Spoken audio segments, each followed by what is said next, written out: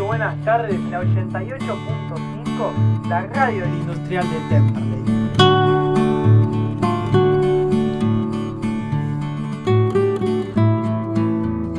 No tomo la radio como que ellos tienen que ser periodistas.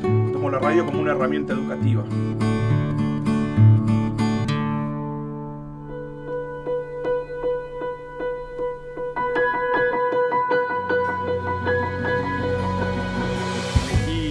Docente vine como para poder bancarme los estudios.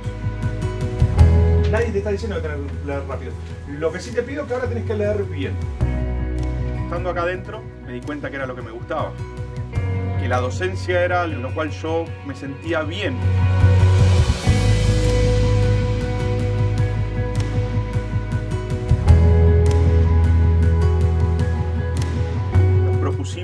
El año 2007 participar y logramos el premio como mejor proyecto educativo de la Argentina por la Fundación IPF. Esto nos permitió a nosotros comprar el equipamiento, lo que nos permitió después tener la licencia para poder transmitir la primer radio de una escuela pública con licencia para transmitir en zona urbana. Hoy con este día hermoso tenemos un programón con unas noticias tremendas.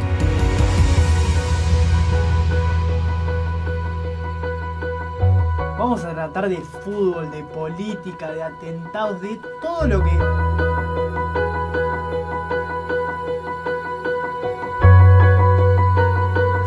El hacer lo considero muy importante. Si el chico no hace nada en la escuela, se aburre. Y si se aburre, no presta atención. Y si no presta atención, fracasa. Aprendí a trabajar en equipo, aprendí a respetar a compañeros en sentido de, como bien decía Martín, preocuparse por el otro. Trabajar en proyecto lo más importante que te permite es que es una herramienta para trabajar con los chicos de otra manera. Te permite hacer una evaluación de los chicos en una faceta que capaz que en el aula no la podés plasmar. La comunicación que hay con Martín es como un amigo más.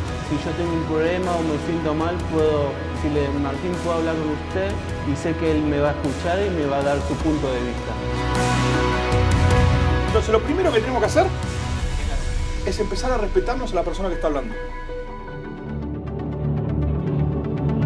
Vamos a tener la responsabilidad de trabajar pensando en los chicos, porque los chicos son el futuro.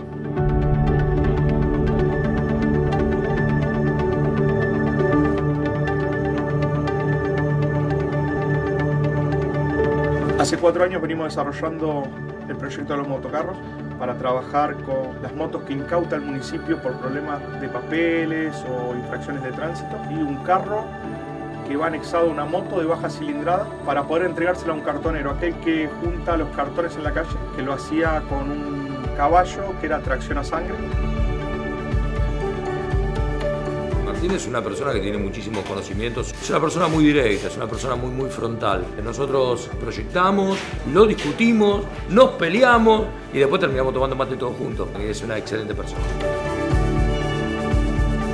La radio está encaminada a los 20 años, no lo planificamos para los 20 años. ¿sí? La Argentina en ese momento no podíamos planificar a, a dos días.